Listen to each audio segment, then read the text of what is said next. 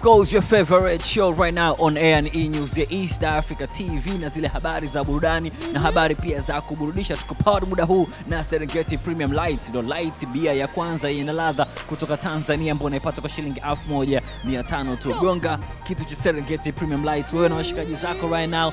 Feel good, feel special, feel amazing. Nakumbusha kwamba haiuzi kwa yoyote mwenye umri chini ya miaka 18 kunywa kistaarabu. Taifa letu, furaha yetu, bia yetu, lakini pia do it. shout out sana kwa Coca-Cola. E bwana, every day we're tukumbusha vya kutosha hapa hapa ndani ya hii news kupitia East Africa TV. Tunawashukuru sana, lakini hakikisha pia wewe uh, unapata koku yako ya baridi kabisa. Uh, tunamalizia malizia mwezi mtukufu Ramadhani, kwa hiyo hakikisha haukosi Coca-Cola yako katika futari yako wala katika daku lako. Mimi naitwa Suzy aka So Revive ni time ya News kupitia East Africa TV. Of Hey! course, usikose zile story kubwa leo kutoka Bongo, unaweza kusema kutoka kwenye ulimwengu wa Bongo Flavor.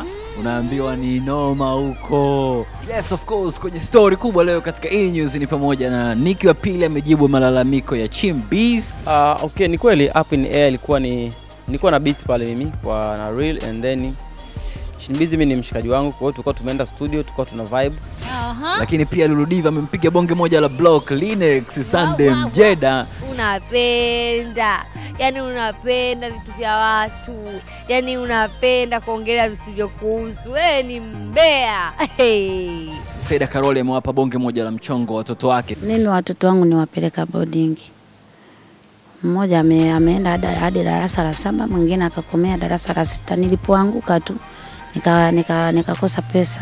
Stay tuned for that. Ni story ambazo tunazo kwenye E News ya East Africa TV time ya KKM. Naam, picha letu limechezwa pale India. Yes, jamaa alikuwa anaongoza kwamba polisi wako kwenye gari kwa nyuma wanamfuata, lakini jamaa hakukata tamaa. Eh, unaletewa picha hili bomba kabisa na mimi DJ Katarina kutoka Karatu mjini au da, kwa maana ya kwamba Darida Mishene.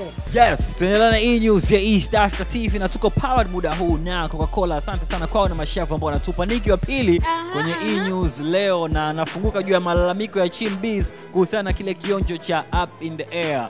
Up in the air, up in the air. Mimi niko up, up in the air. Ulisikia hicho kionjo kwenye ngoma ya Rosario Yeah, course, yeah. na mwisho siku ikawa ni bonge moja la hit record kutoka Rosario wa the industry. Kumbe kionjo hicho bana alikifanya Chimbiz ndani ya the industry ambao ni studio ya real na hicho kionjo alikifanya kwa ajili ya Niki Niki wa wa pili. pili. Umeona bana, Eh, so baadaye anakuja kuisikia eti ipo kwenye ngoma ya Rosary. Rosary. So Chimbiza anavuta waya, anasema ni aje, ni vipi? Mbona hivyo mzee? Nikiwa pili ananyosha maelezo. Uh, okay, ni kweli up in air ilikuwa ni nilikuwa na beats pale mimi kwa na real and then chimbizi mimi ni mshikaji wangu, kwa hiyo tulikuwa tumeenda studio, tulikuwa tuna vibe.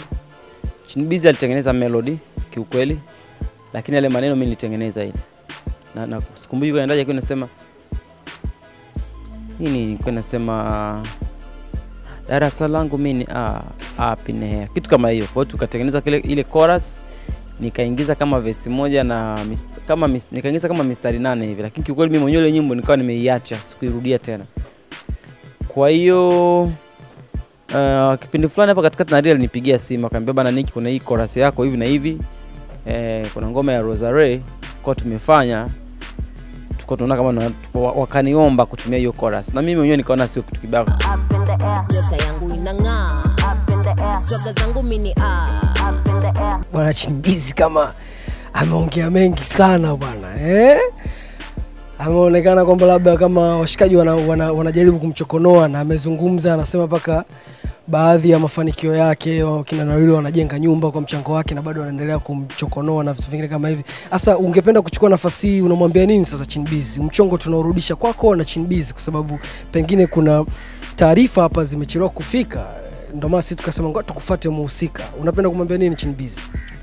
Ah, mi si sina cha kumwambia Chinbizi, unajua mimi mi navyojua tulivyo eh, the industry watu wote wakati tuko tunafanya kazi the industry, mi mpaka sasa nafanya the industry nje ya mziki sisi ni familia, au sio? Na really mi kwangu kama brother zangu na Aika na Chinbiz na nani sisi tumesaidiana vitu vingi kwa kweli. Alright, lakini Nicky wa pili aliwahi kutuambia kwamba ah, mwaka huu hapa anategemea kutoa ngoma mbili. Is it mwaka huu hapa Sam? Yeah. Aha, lakini sasa hivi tunaona ametoa ngoma moja tu ambayo inakwenda kwa jina la Quality Time, Quality Time. we got Ah. Jinak on the record so of course nikiwa pili anafunguka ime- imekuwaje imekuwa vipi au nyingine Ndio ile baadaye tena au baadaye sana tuko na nikiwa pili kwenye chumi.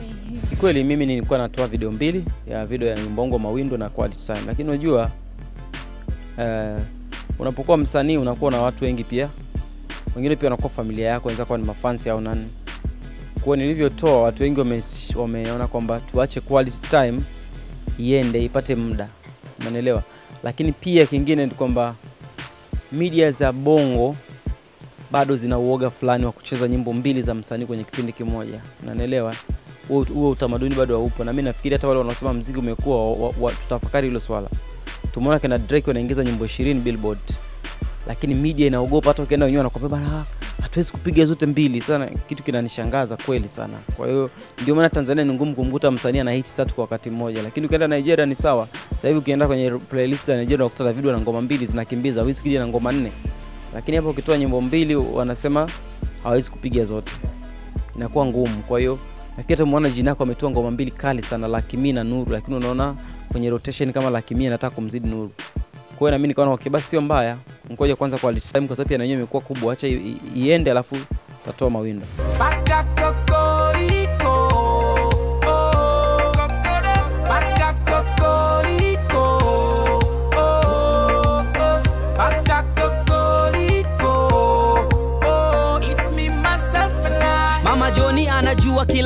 nikitoa, wapinzani wangu wote wanakaa.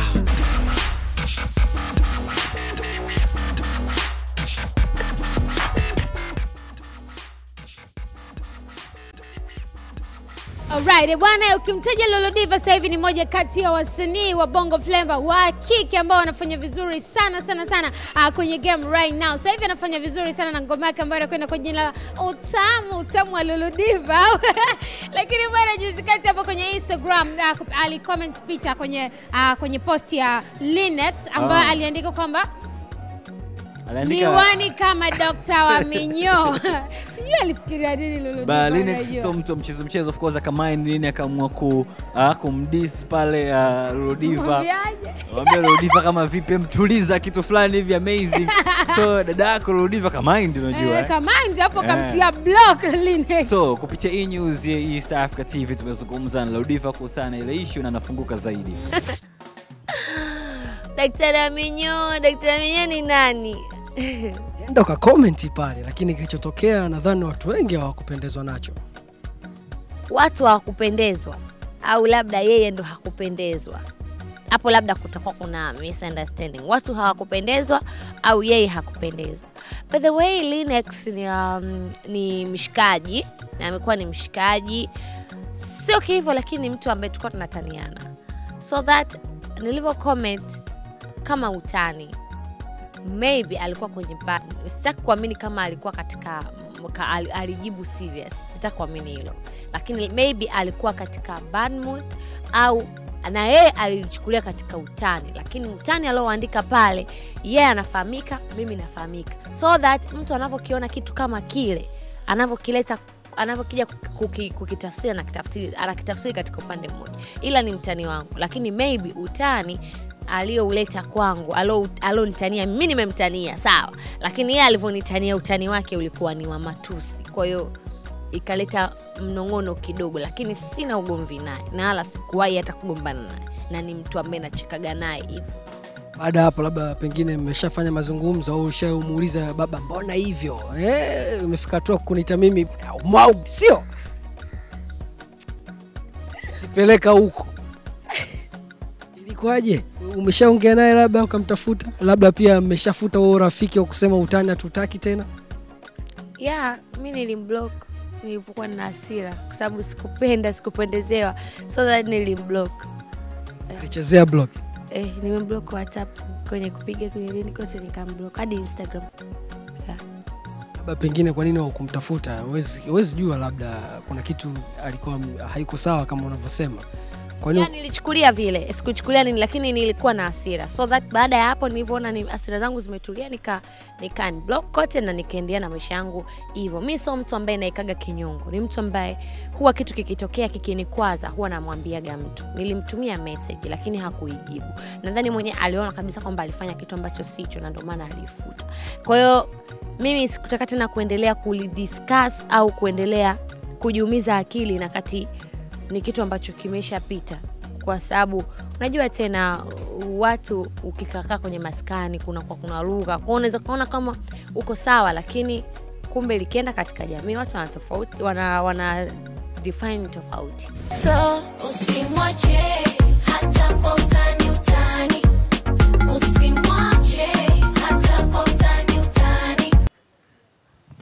vipi kuhusu unapenda umbea unapenda. Yani unapenda vitu vya watu. Yani unapenda kuongelea visivyokuhusu wewe ni mbea. Sasa mwa unalikuza na kati hata aliko katika makuzi hayo? Eh? huwezi ukawa unalikuza neno kiasi hicho jamani. Kwani alisema alisemaje anapatikana anapatikana baharini wanamtaja sio? Mimi usinihusishe. Jamani sija ukanitafutia bifu mimi sitaki. Ni, siko vizuri katika masuala ya kurushiana mawe. Usimwache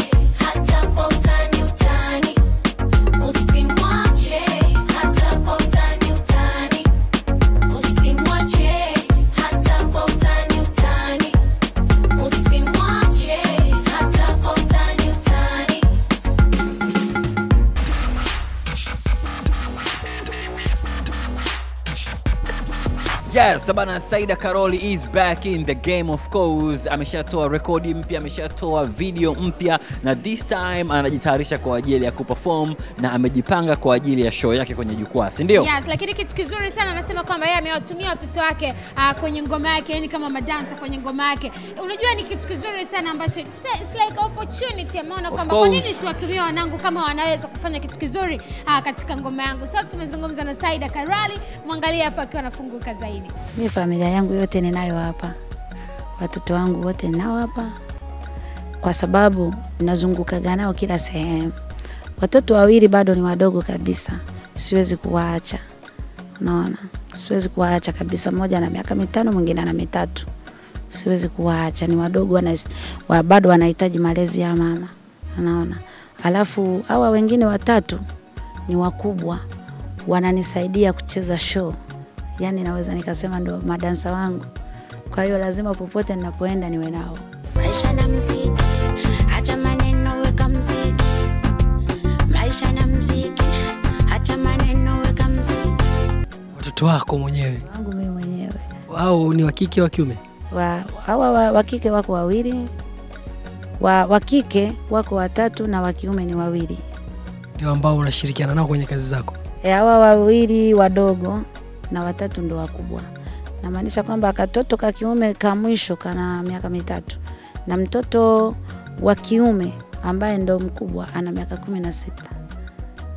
wote umeshika nao umeshikamana nao wanasema Wote ni nao hapa. Sasa kwa, kwa, kwa nini umefanya uamuzi huo kwa uingiza na wao kwenye muziki tena kwa kwanza kwa kucheza pengine unategemea baadaye watakuja kuwa waimbaji ama Hey, wanapenda sana kuimba na, na mtoto mtoto kama amezaliwa na mwanasheria lazima atampeleka kisheria. Mtoto kama amezaliwa na msanii lazima awe msanii.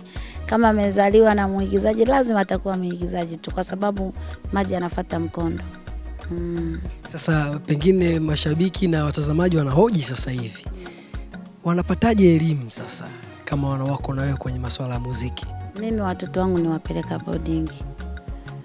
Mmoja ame, ameenda hadi- darasa la saba, mwingine akakomea darasa la sita. Nilipoanguka tu nikakosa nika, nika, pesa za kuwaendeleza, lakini walikuwa boarding wanasoma vizuri tu.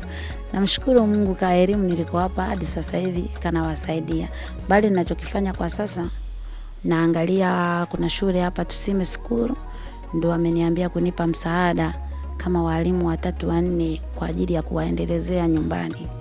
Kwa hiyo wanawaendelezea elimu yao kwa sababu sio wagumu sana, kwa sababu wameshapitia boarding tangu chekechea mpaka darasa la sita na mwingine tangu chekechea hadi darasa la saba. Kwa hiyo ni kuendeleza tu, na wakati huo bado tukiwa tunaendelea na usanii wetu kama kawaida.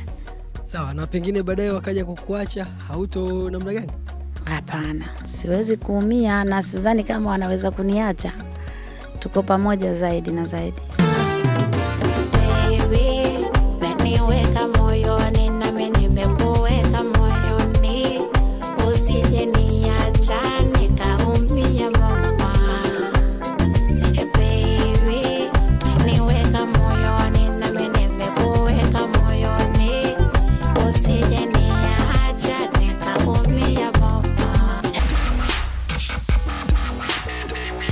Yes, bwana unatazama E News ya East Africa TV. It's your boy Sam right here. It's your girl Suzy aka Suri It's baby. time to tell me, ni time ya nini? Ya cheche.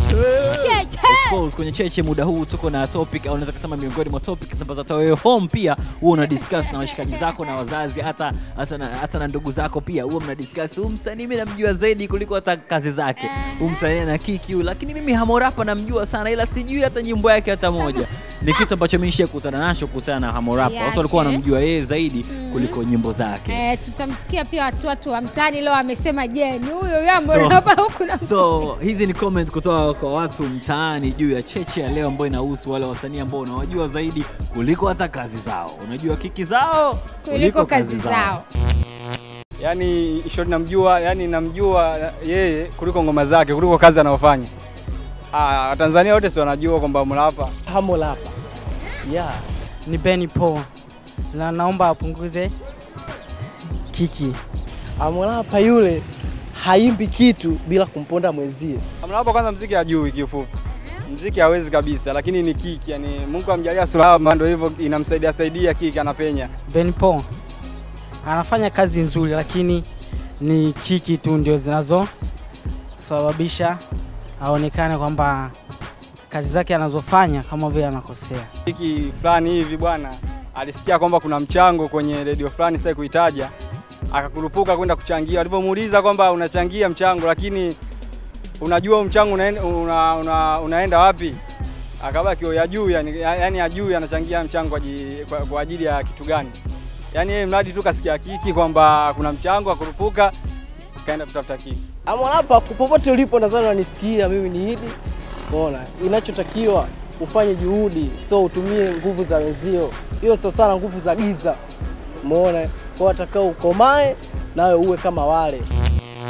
Nakushukuru sana of course kwa support yako right now kama umeitazama hii news ya East Africa TV endelea kufanya hivyo asante sana pia kwa Coca-Cola mimi ni Sam Misago ni Suzy aka Suri Baby. Asante sana kwa kutufuatilia Jumatatu mpaka Ijumaa pia, lakini asante sana kwa wewe ambaye umetumia picha zako za Halo 5 pamoja na video kupitia namba ambayo unaiona hapo kwenye kideo chako. Jamani, sasa hivi uh, namba ni hiyo hapo.